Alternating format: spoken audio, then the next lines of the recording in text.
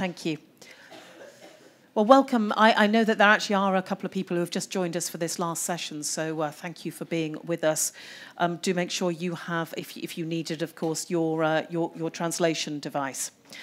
So, as I say, we are now going to look at the tools and the methodology. How to do it. What to do, but how to do it, what works. Um, a lot here that you can take away with you and uh, work out what to take this into your various parts of the industry. So, my guess, if you would just wouldn't mind just raising your hand as I go along, uh, Jörg Tagger, Head of Unit Social Dialogue at uh, DG Employ. Lovely to have you with us, Jörg. Jakob Embacher, uh, Policy Officer for Utilities and EWCs at EPSU. There we go. Fantastic, sitting on the end there. Uh, Bronagh O'Hagan, External Relations Director at Eurogas. There we go. And uh, Sophie Grenade, uh, Senior Policy Advisor at industriAll Europe. So we have EPSU and Industrial back. We also have Eurogas as well and DG Employ. So what we have asked our panelists to do, they've all had access to, uh, to looking at the report, but we've asked them to give us our give us their thoughts on this situation and the challenges ahead keeping particularly in mind the tools and the methodology. So I will go along the line and we're just going to have a few minutes from each of our guests. Then I will turn over to you for questions. So, um, would you like to start us off talking about social dialogue and uh, what yeah. you think is the way forward? Uh, thank you very much, and thank you uh, for inviting me to this quite timely seminar. Why I say timely? Because yesterday was for us the day we adopted uh, the social dialogue package, the social dialogue initiative, which took nearly two years of preparation. So it was a follow-up to the uh, decision of the Commission on the action plan on the implementation of the pillar of social rights. Of course, this did not fall out of the sky. Uh, we had, over the last 20 years, more and more initiatives on social dialogue and in particular as social dialogue is of course a feature of the EU which also makes us different to other blocs yeah, in the world scene. We believe in the EU on social, in social dialogue. We believe that this is very important for our system of a social market economy. And why this? We discovered, or it was now empiric proven also by the OECD, ILO, that those member states who have a strong social dialogue system in place are more resilient when there comes a crisis or a transition, recover earlier, yeah, and, then, and then have a more fundamental positive economic uh, uh, performance. This was true with the financial crisis 2008. We notice it also, of course, with the COVID crisis but also now with the energy and the Ukraine crisis. So in this respect, social dialogue was already high on the agenda under the last president, Juncker. He made his new start, but he also introduced what, was, what is called the European Pillar of Social Rights with 20 principles. And there's this famous principle, eight towards member state, you member state, please support social dialogue involve social partners in their policy making, in your policy making, and make, make it possible that there is a social dialogue in their country. And this, this was a, a political direction. But the Pillar of Social Rights was not to be implemented itself. It was a political orientation together with the member states. So it needed now a concrete plan, slicing it into pieces to make it more concrete. This was the pillar action plan. And now we're coming to our package. Why did it take so long? Because some of you know there was an intensive consultation procedure with social partners at cross-industry level, but also at sector level. So also thanks to you, I know there are some from even different sectors here, for your contribution, constructive. I personally read all your contributions, so we really put them together. We hadn't a blueprint before. And this is also when you now look at the press reviews from social partners, they are really positive. Yeah? So, in this package, I could now talk for two hours, but I see your face. I will, I will stick to a couple of minutes. so, what do we have? We have a communication and a recommendation. So, why the two? The communication, this is the Commission internal business. So, how we organize social dialogue, in particular at EU level, together with you. However, this is only us and you at European level.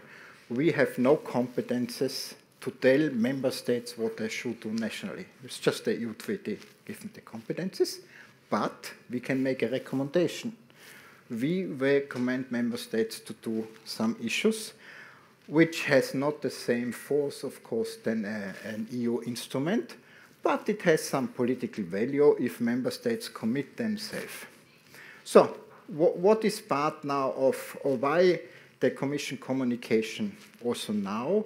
Because we know such social dialogue is very important to deal with the coming or already happening challenging, also in the transition. And you probably heard from my colleague Frank, we have a lot of transition, energy, uh, but also new forms of work and, and uh, let's say in, in our context of the EU, and our president said this, it has to be a just transition.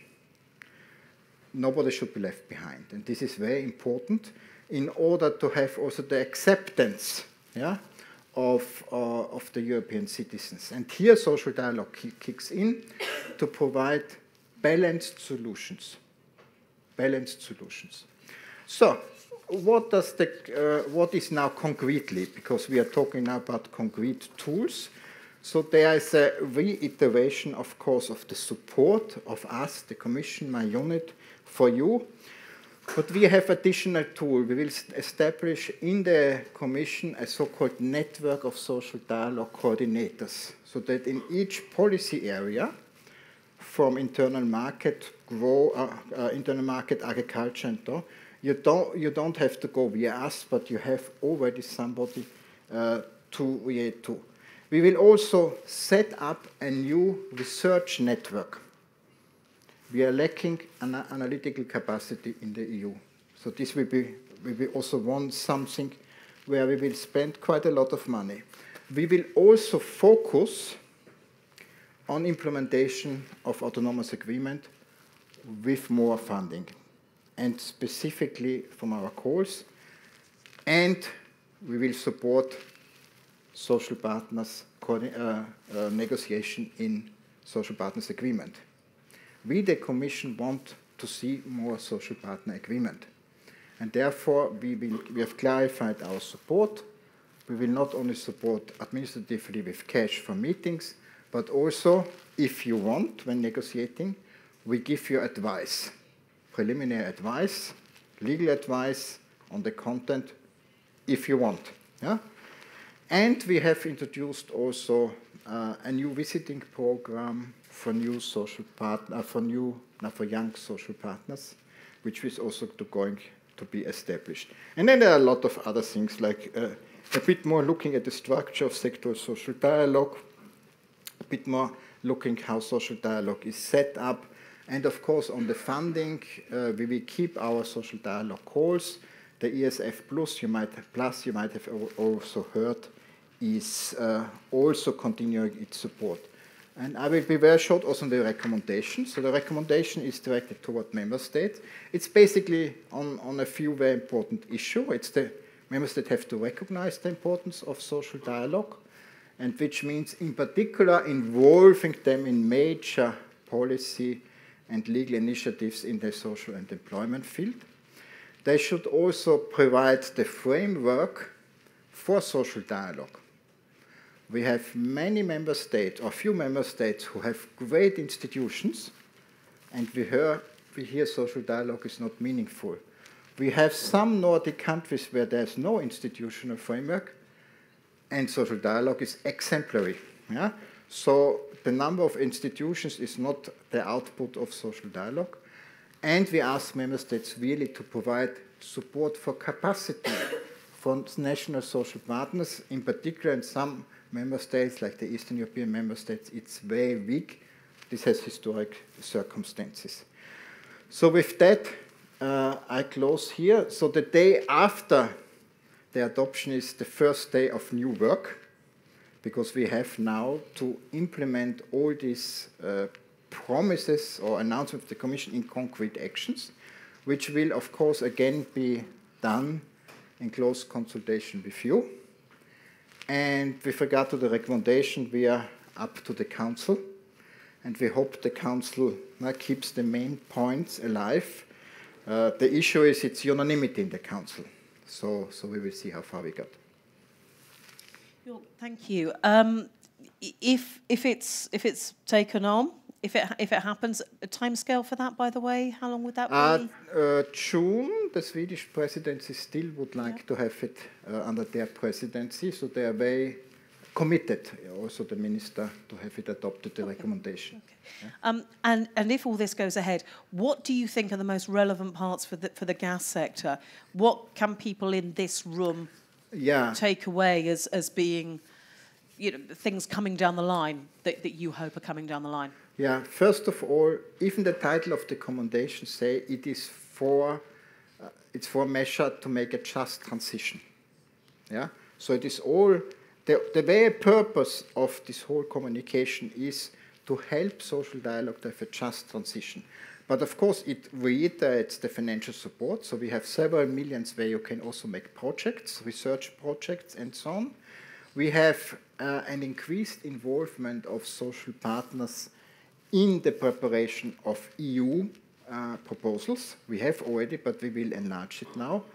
And of course, this uh, research network, which will be also heavily funded, will also help you and all the sectors with specific emphasis on, on transition in your work, because we know that uh, analytical capacity and analytical work is missing in social dialogue despite having two institutes.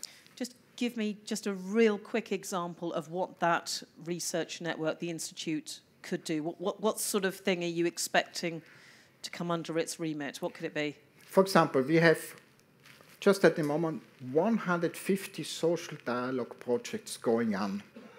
Uh, and we have 70, 80 coming every year. They will look what went well, make best example, make best practices for other social partners to apply for similar projects. For example, Women in Railways was a very good project. Huh? Why not for other sectors? Yeah? But at the moment, they are all floating around, yeah?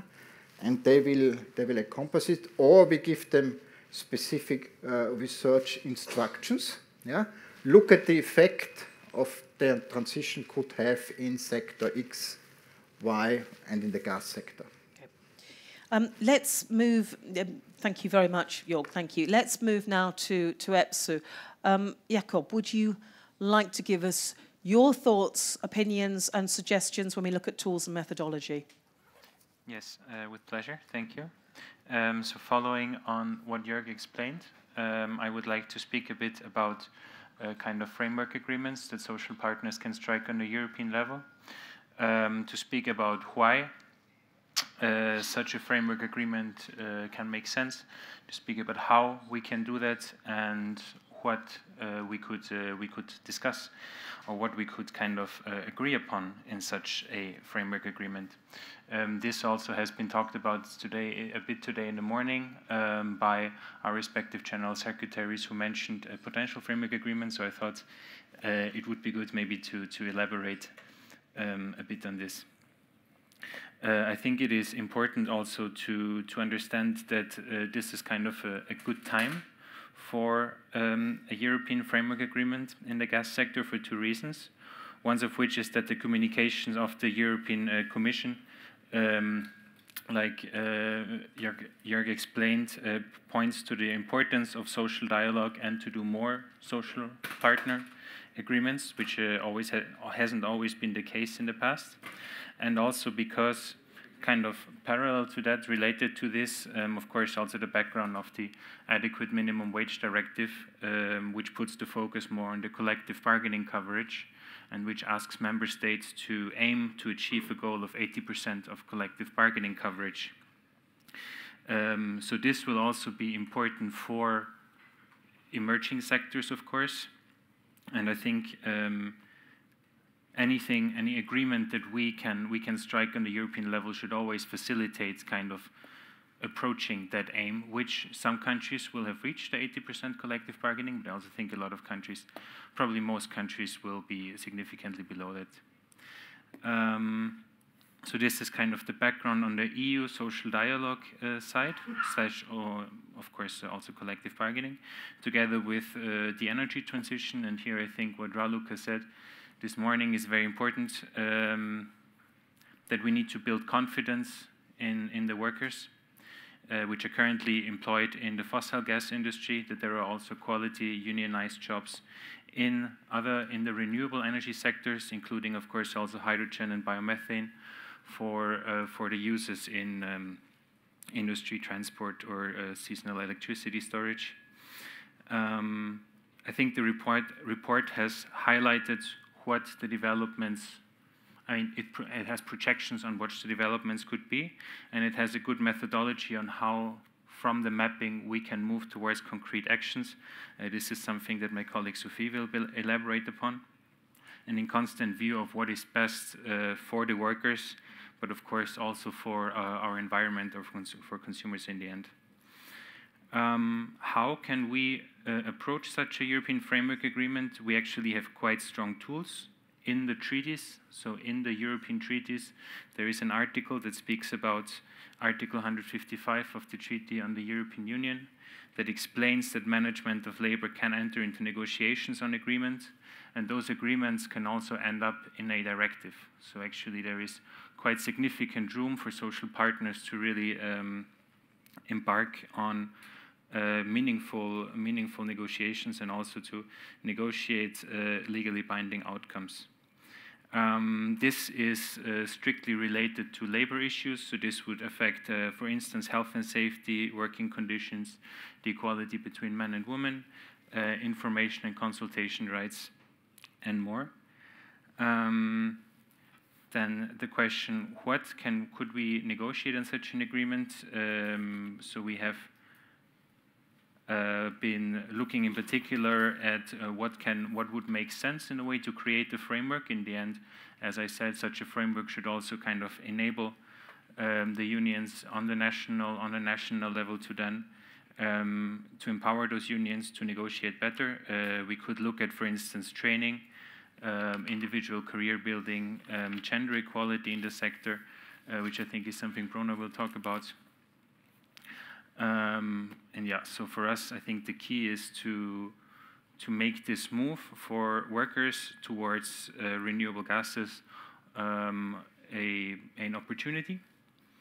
Um, I think also companies have this uh, responsibility vis-à-vis -vis, uh, their workers. Uh, those workers often have spent many years and their labor in those companies.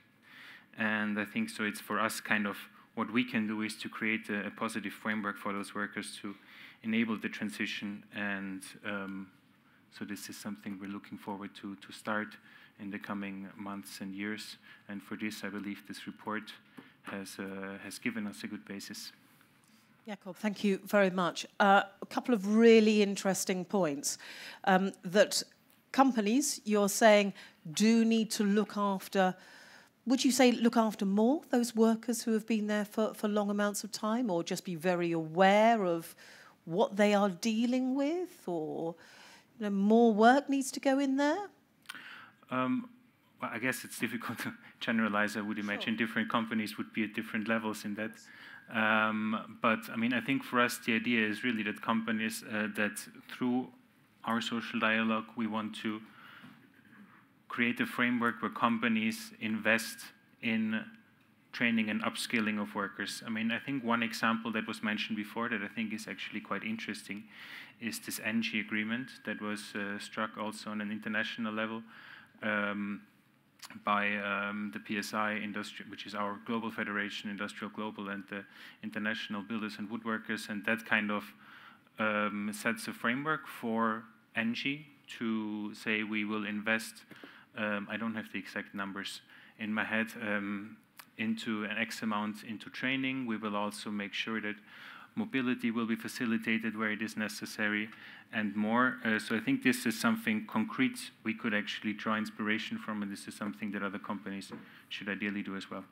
Uh, and something else you, you mentioned, um, one of the first things you said, you have to build confidence in those workers, which I thought was really interesting because, you know, a company does need to build up the confidence in its workers because then you have workers who are likely to be far more positive and, and start embracing other possibilities.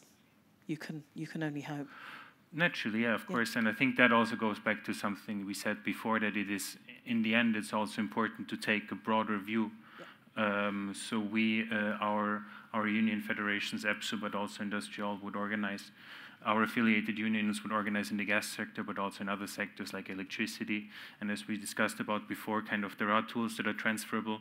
So ultimately, this will also be important to look to take this kind of panoramic view.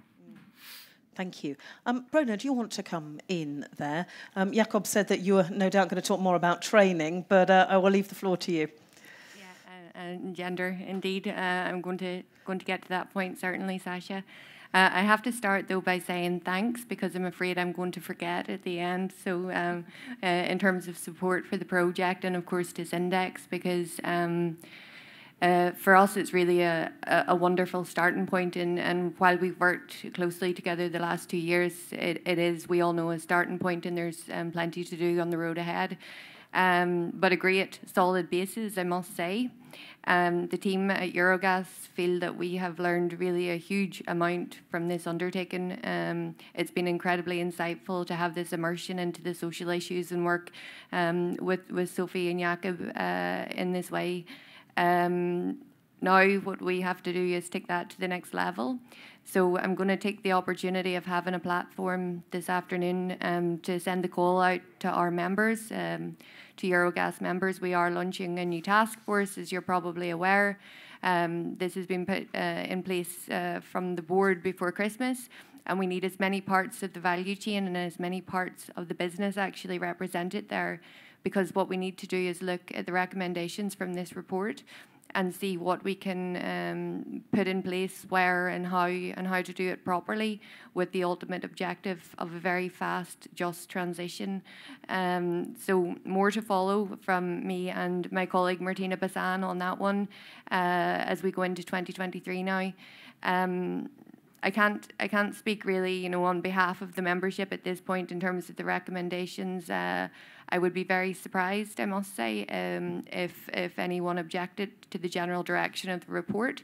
I think uh, it seems like quite a sensible framework in terms of scaling hydrogen, biomethane, carbon capture storage to ultimately decarbonise the gas network. Um, and of course, quality social dialogue is one of the core recommendations, is something that we already support at Eurogas and we're keen to do more on and progress on. Um, there, there are best practice examples uh, in there, and uh, from my perspective, um, with responsibility for comms at Eurogas, I think it's worth noting that when we put those best practice examples out there, we're not interested in giving ourselves a pat on the back. um, it's about sharing best practice and inspiring others to do the same.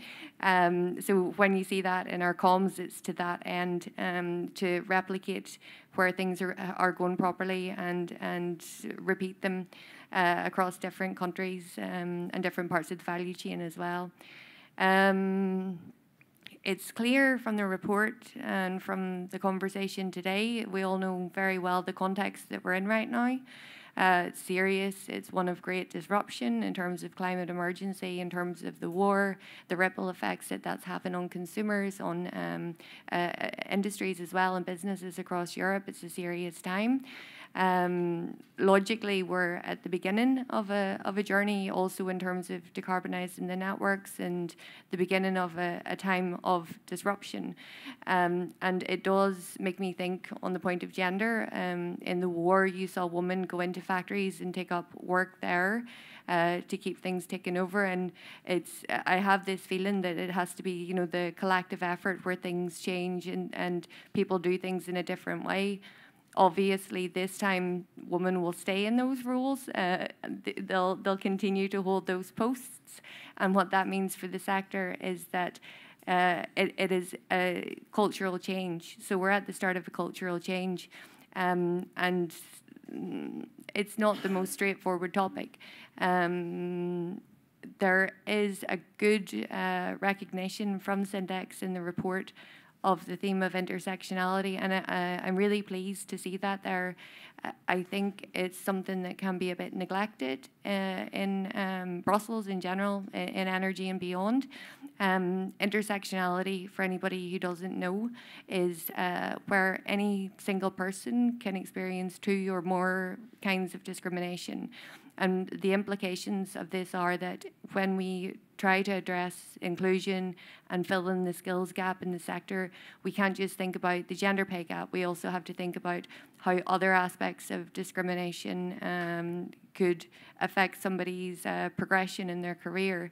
So this could be ableism, it could be um, racism, classism, homophobia, transphobia, you know, I can go on.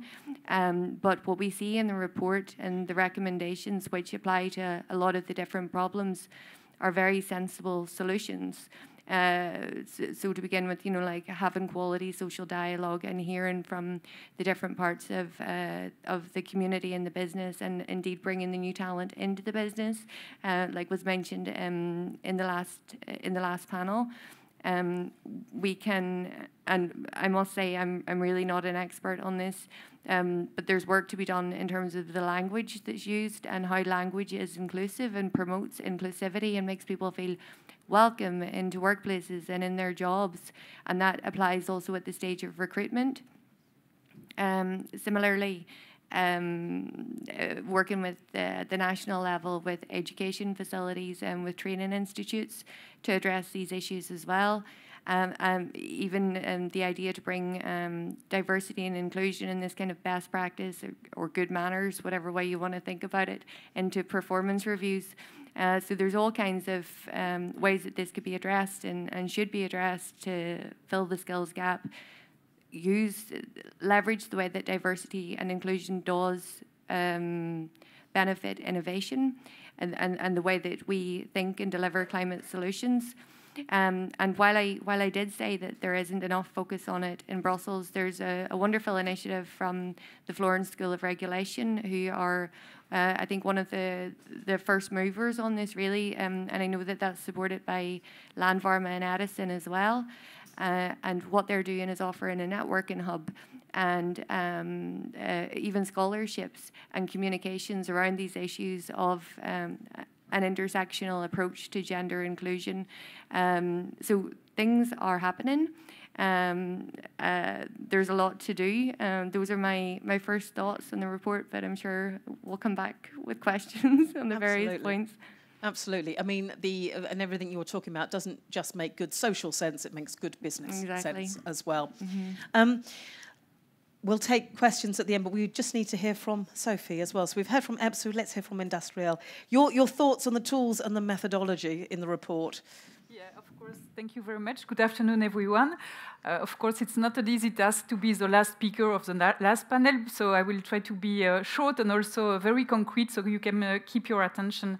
So yeah, the, the title of this uh, this uh, panel is um, uh, aiming to uh, to develop maybe the tools and the methodology of the society dialogue. Maybe it's not uh, very um, uh, in the mind of everyone here. So I will maybe recall a bit the different tools that we, we have at our disposal when we talk about society dialogue. Because society dialogue is not just talking, uh, it's also uh, trying to have agreement in companies, etc. So that's important maybe to recall a bit the frame. So uh, Jörg has explained uh, before, um, before me the, the, the review of the society dialogue at the EU level. This is very much important because here we are also all working with a different EU institution and we, we we will now have some uh, um, dialogue coordinator uh, in the in the review. We have this uh, this proposal, which is very much important because this means that we, as social partners at the European level, we will be in touch with the different DG inside the European Commission, also trying to uh, to advocate in our sense, in the, also with DG Energy, DG Environment, etc. Because we used to work a lot with DG Emploi, but now we will also have other other place to uh, to express our, our problem, but also euh, um, uh, provide some solution to, to different challenges. So this is the European uh, social dialogue framework, if I may say. Then we have also the social dialogue on the European level, but for, for the sector. So we have, for example, this sectoral social dialogue committee for the gas sector. Uh, we already mentioned it, and lots of you already know that. Very much important because we have there an area in which we can discuss uh, about the different challenges of the sector, not only social challenges, but also more uh, general uh, challenges linked to the energy transition, etc. This is also um, uh, because of this uh, sectoral social dialogue committee that we can we have launched this project with the support of the European Commission who has financed this project. So it's very much important. And we have also the opportunity in this kind of, of uh, sectoral social dialogue to negotiate agreement. And Jakob has expressed uh, the, the, the project that we have to maybe go a step further in, uh, in the discussion not just discuss or having joint statement but really engage into an agreement which will be binding for all our members. So that, that's very much important. And maybe uh, not just our members, but if we uh, achieve to have it into a directive that will apply to all companies. So that's very much important. And that's why we would like to take the time to, uh, to discuss the different uh, uh, challenges that we would like to see solved in this EU framework agreement. So that's about the EU level. Of course, we have also society dialogue at the national level and at the company level. And I think that's what's also like the, at the heart of the report of Syndex. It's super much important to focus also on collective bargaining because it's nice to have place in which you can discuss between the trade union and the employers, but uh, Uh, uh, sometimes you, you have to go further, not just about uh, being uh, listened, etc., but you, you have to, to sign agreement on different topics. And I will maybe give you some concrete example informing, uh, consulting, and also having the participation of workers at the different level are, are, very much important for us. Because, you know, for the gas sector, we are talking here about 2020 workers, more or less. Uh, that's huge. Uh, they will see, uh, we have heard that uh, since this morning, lots of transformation uh, in their companies, in their tasks, in the skills that will be needed, but also transformation of their working conditions. So that's very much important that we still uh, go forward, but all together, leaving no one behind. Uh, because that was also a question that Sasha you, you asked uh, in the morning session okay, but sometimes we have to go fast. Why uh, will we have the time to, uh, to, to maybe have this social dialogue? But uh, I think that it's clear, and Anna said that also, we do not have the choice, because if we do not manage to have everyone on board, and social dialogue help to have every, everyone on board, then you will miss the train. And we will miss the social train. We already see that there is a, a big social crisis. Uh, but then we will also miss the train of the energy transition because you will not have with you the citizens. They will see that the energy transition, the green transition, uh, is going to, to maybe left some uh, community behind, so they will not uh, go with you in this important uh, in this important transition. So I think that's why also uh, it's very much important to focus our, our attention on these uh, different tools. Okay, so that was already said. The report of Syndex have. Um, have shown how much uh, society dialogue is important. That's a different level. But this is also important to say that the, the, social partners, the trade unions and the employers, when they talk together, they are really the, the best person, they are the better place, better than everyone to, to know how this should happen, because they know the work that has to be done, they know the challenges of the company, and when they are together, they are really the best place to, uh, to discuss this.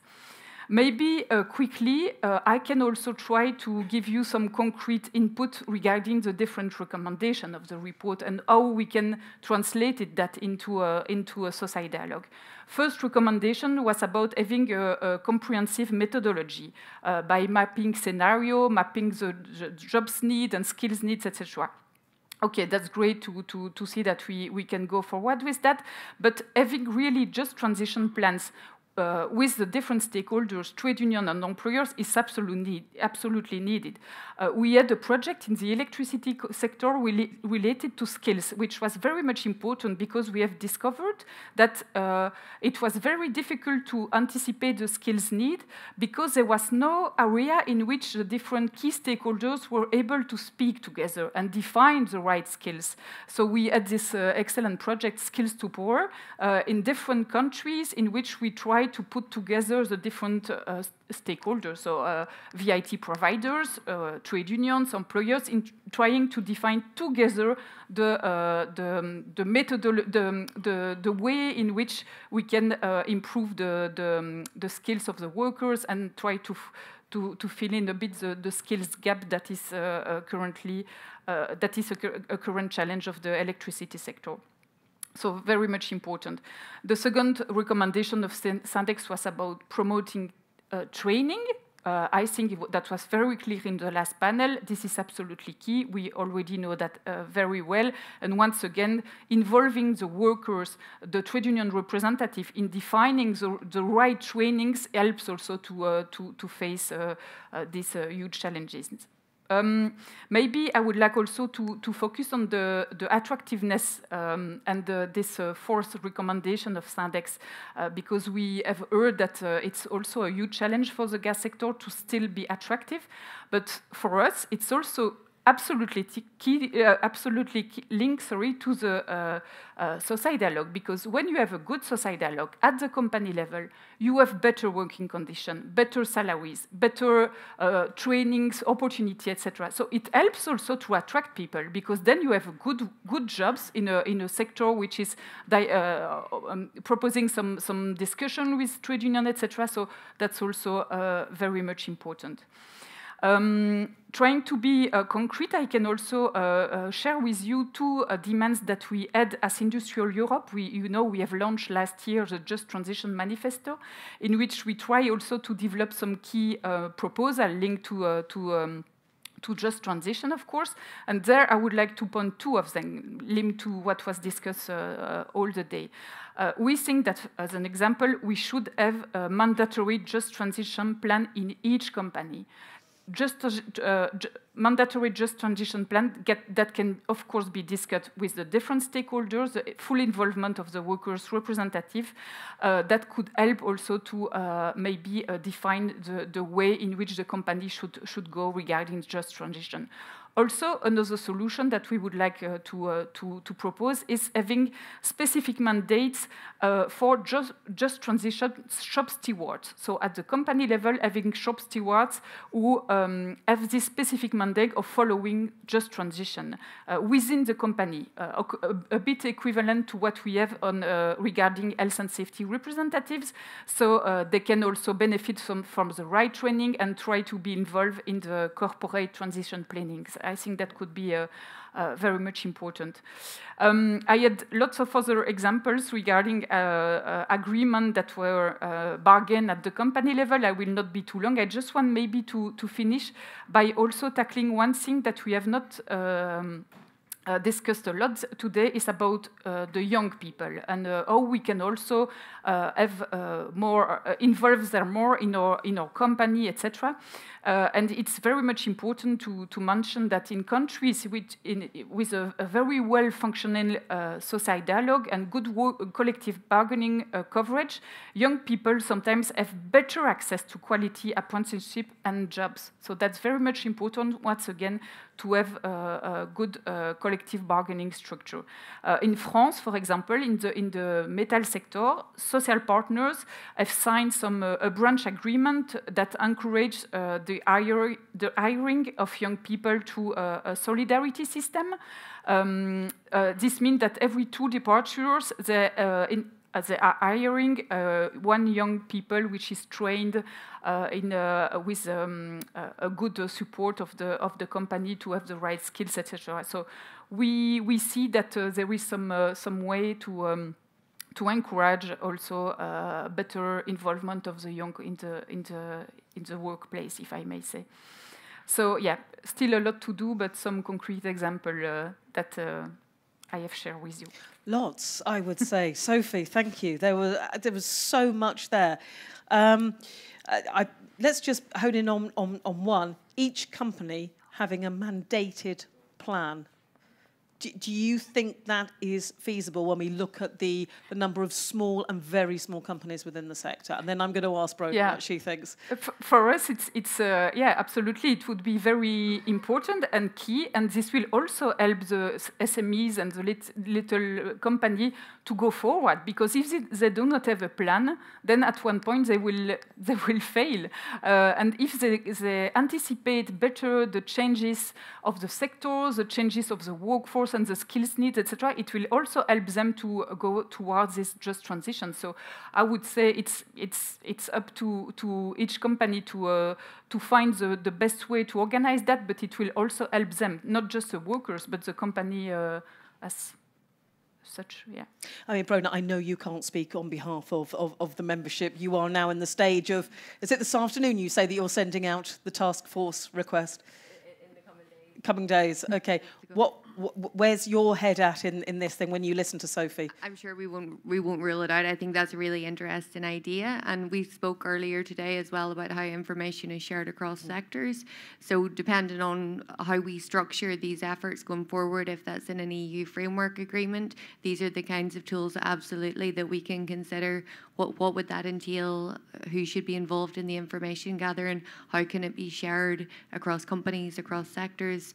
Um, because the, the shared interest is uh, emissions reductions for the planet that we all live on, uh, and and of course you know like to keep the um, the businesses um, well staffed and, and, and equipped to, to roll out the solutions. Mm. Should we take some questions from the floor? Would anybody like to come up with a, um, a any sort of specific thoughts or, or queries on anything that they have heard? No, doesn't look like it. There's a lot of information there. So I will just um, end this panel by asking all of you, just in a, in, in a sentence, if, if, if I might, and take a moment to think about this. When we talk about everything we just have done over the last, what, 45 minutes or so, about how to get to a just transition, so that with that social dialogue um, and thinking of our communities first and foremost, what's going to be the hardest thing to get right or to put into practice? And actually, you, you can say anything that maybe you've heard today as well. Sophie is thinking, oh, it's going to be all of them. Um, Jakob, would you like to start? The hardest thing to put into practice, do you think? Um, I think for trade unions, the priority would probably be to organize kind of newly emerging sectors well.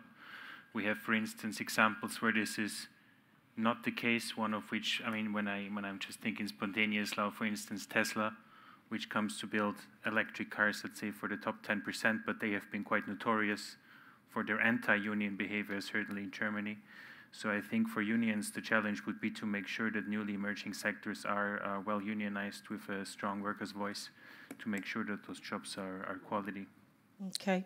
Um, Sophie? Yeah, fully agree with what Jakob has said, but also maybe I would, to reply to a question, I would say maybe uh, the willingness of the, the, the, employer side also to negotiate agreement, because uh, that was also mentioned today. Hein? If we, uh, have, we are just a trade union in front of, of uh, uh, employers who, want, who, do not want to, to agree and having strong agreement, then we will lose uh, this train again. Mm. Um, Bronagh, there are obviously lots of great examples of things already. We mustn't lose sight of the fact that there is already lots of best practice, people doing really well, organisations doing really well.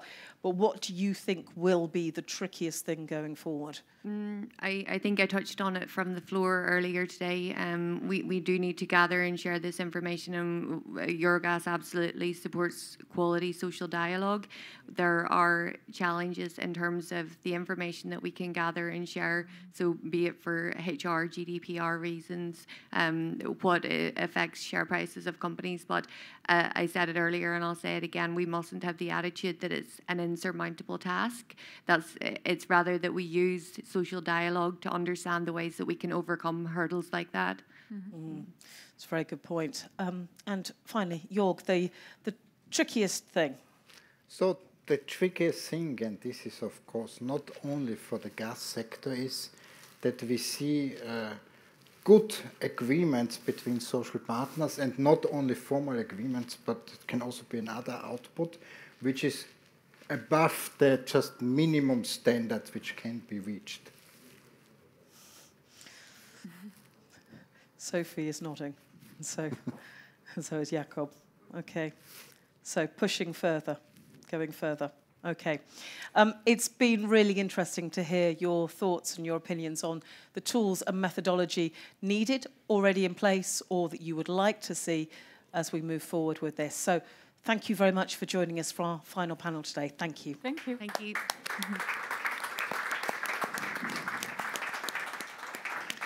So, ladies and gentlemen, I think what would be really quite nice if we um, just wrap up everything that you have heard today, because goodness me, there is a lot that we have got through.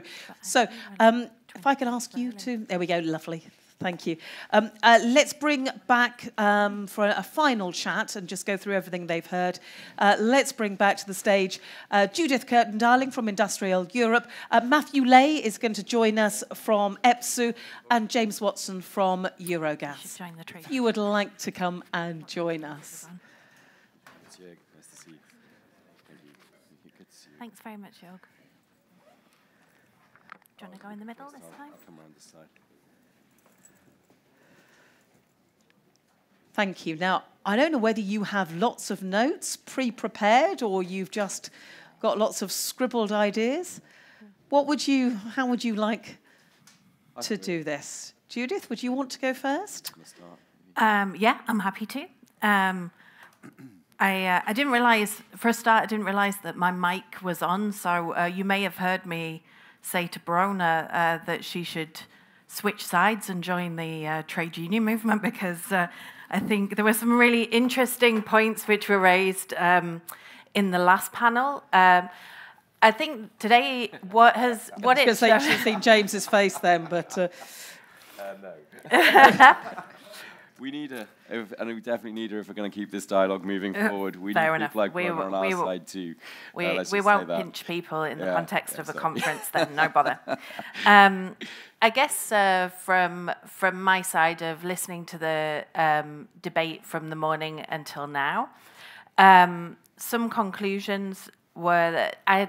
I think it was interesting that there seemed to be broad consensus around the recommendations uh, that have been developed in the report we can see in the report that we have some really major um, data gaps and, um, and a really big issue with actually mapping what's going on on the ground across Europe. Um, and uh, two points on that. One, um, separately uh, to this work with Eurogas within industriAll Europe, and Sophie mentioned our Just Transition manifesto, which was launched in May last year.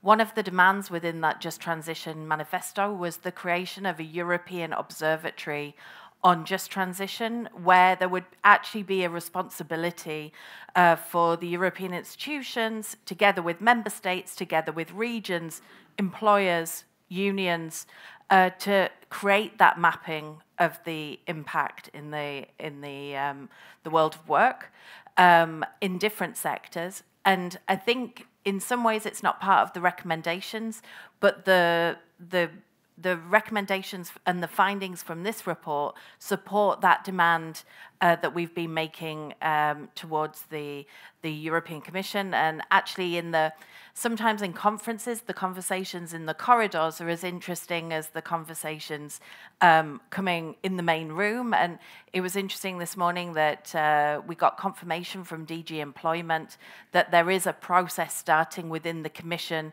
to work out how to establish such an observatory at European level. So I would hope that the study that we've done collectively um, in the gas sector would then be another tool that we can bring to the table in the discussion with different parts of the Commission to try and really flesh out this European uh, policy around just transition, which, which goes beyond uh, the gas sector.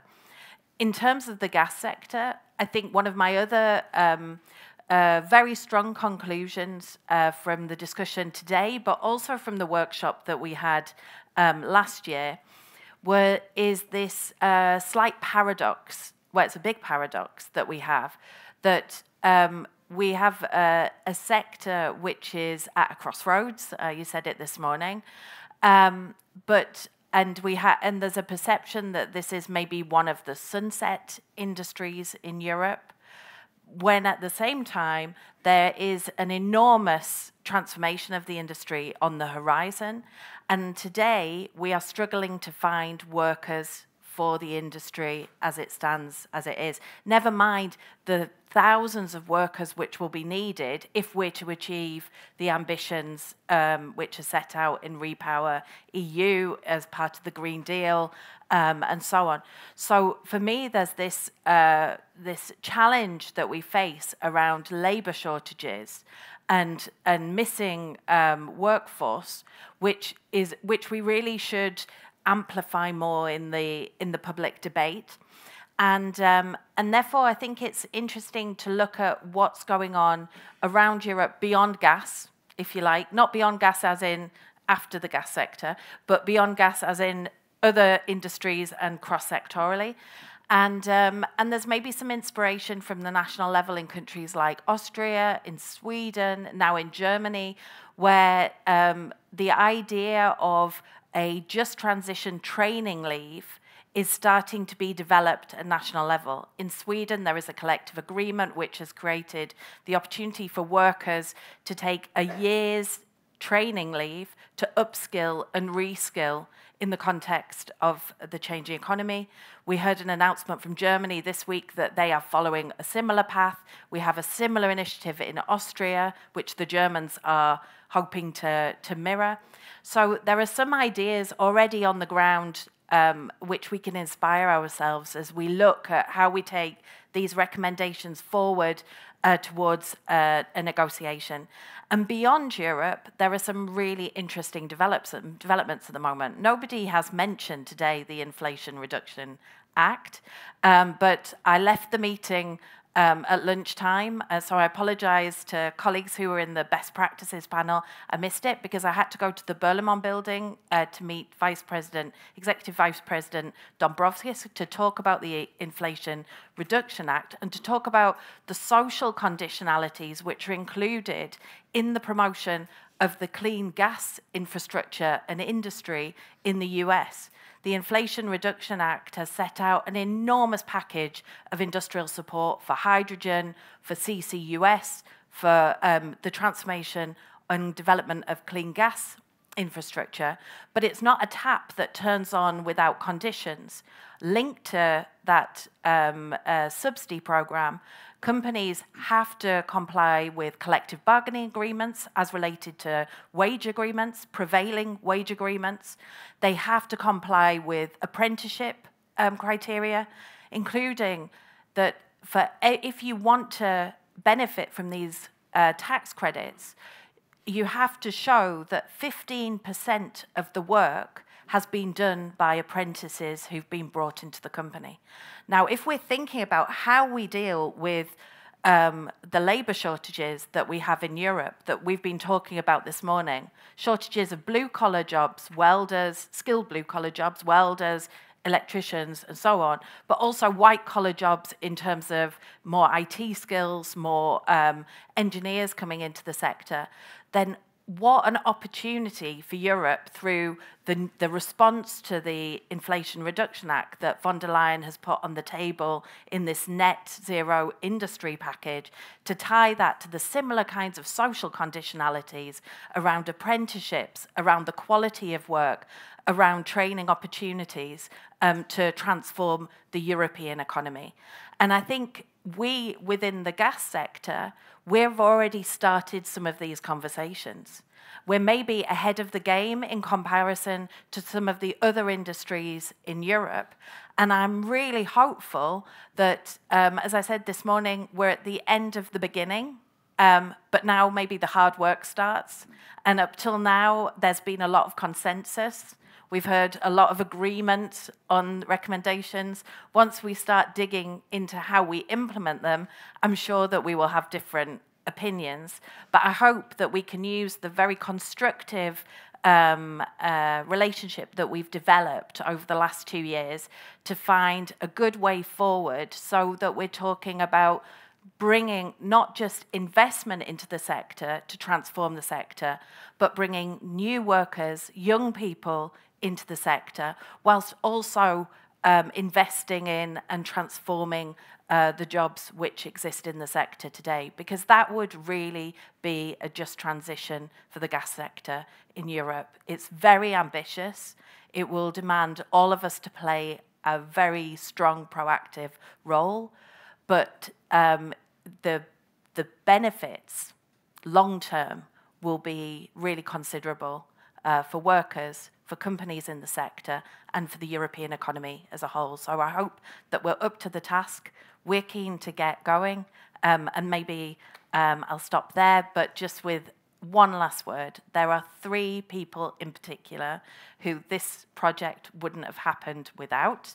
I think it would be really remiss to not say thank you uh, to Sophie, Bronagh, Jakob, who have dedicated an awful lot of time together with the colleagues from Syndex uh, to getting us to where we are. So, um, from uh, personally from my side, but also uh, from industriAll Europe, um, we're ready to now pick up the baton of this project. Let's take it to the next level. Let's give them a round of applause. Judith, thank you very much. Matthew, would you like to give us your thoughts and conclusions at the end of the day? Yeah, um, uh, to follow that, really, I think um, for me the greatest obstacle to decarbonising um, the, the, the, European economy isn't necessarily resources; it will be people. And uh, if you if you look at this room uh, today and uh, now, and then compare it to how it was this morning at 10 o'clock. That sort of represents uh, the dwindling workforce over the last 10 years. Um, the reality is that in, in, in some parts of uh, Europe, in the UK for instance, over 40% of the workforce in the gas industry is over 50. So um, it's not just that we don't have enough workers today, it's that the demographics are quite markedly working against us. And uh, so one of the things in, in the report, which I do think we need to do uh, put some more more thought into is how do we make the sector attractive as a destination for choice for people who are leaving leaving school because if we don't do that we're going to really run out of room in terms of having having workers who can sort of uh, play their part. And that's quite quite crucial because um, they will only come into an industry where they perceive themselves to have a future and where they perceive themselves to have good prospects good employment prospects, good conditions, and good industrial relations uh, where they exist. So we need good employers and we need unions, social partners who are who are happy and content to, to, to promote that and to push that. But the other thing is the gas sector is not the only sector, of course, has been referenced that's that's facing this. Every sector is facing that. We did a project in the electricity uh, sector pre-COVID, and one of the consequence, one of the outcomes there was that the sector needed to do more to, to promote itself. And that's a sector that um, has for many years um, sort of put the green lapel on and, and promoted itself. Um, and I think one of the, one of the um, great advantages of having these sorts of um, uh, projects is that it refocuses us um, sort of to those challenges and allows us to take stock of where we need to be, uh, not just today, but looking further ahead and how we put all the um, the, the, cards together to, to, to, make it happen. So it's so we so we, we need to have a platform that is an attractive destination for people, and that we don't run out of we don't run out of workers. But then we, what we do have, and is, is another challenge, is we have workers sometimes in the wrong place, um, and so we've got to, this is where um, just transition uh, is most critical, uh, particularly the, it will be in the gas sector where there'll be plenty of work but the workers won't necessarily be in the right, always in the right places. It's only in some areas where that's a particular challenge, and that's where we do need to work very hard, you know, work closely together to make seamless transitions, whether it be through technical skill training or whether it be through re- relocation uh, and the ability to relocate. And I think if we, if, if the if the industry is able to get that get that right, um, that will unlock uh, the potential because more people will look in and see how well that transition has gone, and therefore this is an industry, this is an area that is right at the forefront of um, social change and environmental change, and it's a place that I want to be and be proud to work work in. I think a lot of people are standing on the sidelines looking in. What we're doing here, which is the positive thing, is we're actually starting to get our hands dirty and trying to work out not just the problems, but how we solve them. So I think that's really good uh, and, and a positive place to be today. Matthew, thank you very much. Thank you. Um, James, final word mm-hmm. from you. Um, you. Today, you've been described, the industry has been described as in the eye of a storm and at the crossroads. yes. Those are very interesting places to be, aren't they? Mm-hmm. Uh, yeah, I think that in all honesty, I think I would, I would pick up a little bit on what, what Jude said, because I think indeed sometimes we are cast as this sunset industry. I think that that is not the case. And it doesn't have to be a belief because actually there are reports like the one that Syndex do that show that there is a very clear pathway for this sector to go forward. I also would build on what Gabrielle from Total Energy said. When you're talking about how you reskill and retrain people, in our sector it will not always be to continue working with gaseous fuels, it may also be to work with electrons. That is an option and that is an opportunity will also be there to, to take. So yes, it is a crossroads because there are the decarbonized gases, the renewable gases that we have, but there will also be the opportunities that will be driven also by the increase in electricity. And our workforce is skilled and can be reskilled and repurposed. So our sector should not be seen as a dead end, as a cul-de-sac. In fact, quite the opposite crossroads don't actually necessarily mean that there's the end of the road. It means that you are just going perhaps in a different direction from the one you came in. That's probably not a bad thing also for a sector. We just have to make sure that we manage that correctly.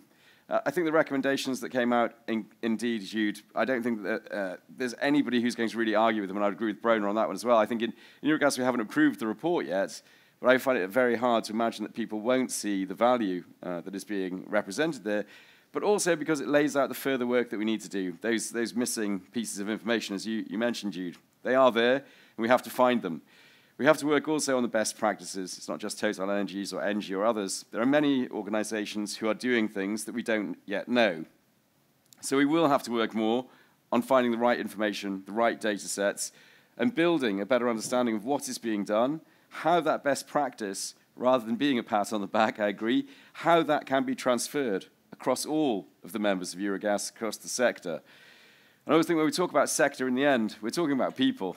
There isn't a gas sector, it's gas people. There is no gas without people. So we have to think first and foremost about the people that are working and are delivering. As whether you're an employee or an employer, it doesn't matter. You are all together and you're bound together. So when we're thinking about this, we have to think about it as gas people. What is their way forward? How are we going to provide the best for them?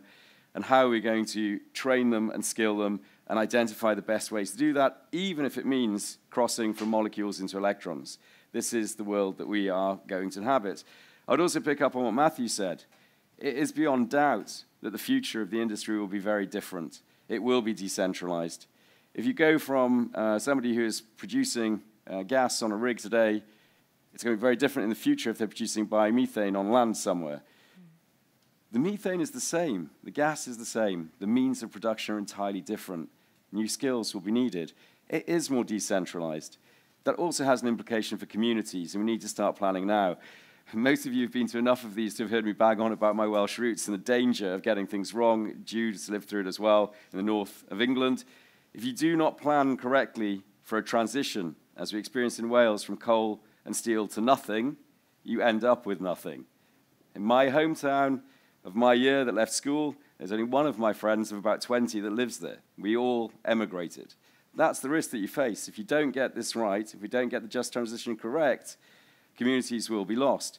So we have to work out how to relocalize. We have to accept that there will be changes in the future. And I do believe that doing work like we do with Syndex helps us prepare better than if we blindly stumble into the future.